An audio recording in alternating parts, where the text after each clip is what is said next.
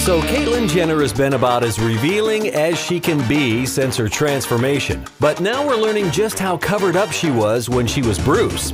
She reveals to Ellen DeGeneres a few details that we never knew about her when she was Bruce.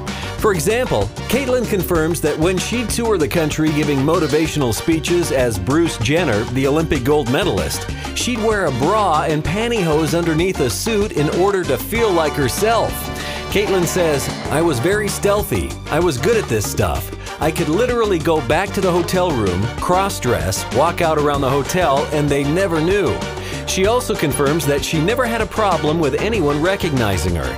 Caitlyn continues to open up further with her show I Am Cait, as well as these more common interviews.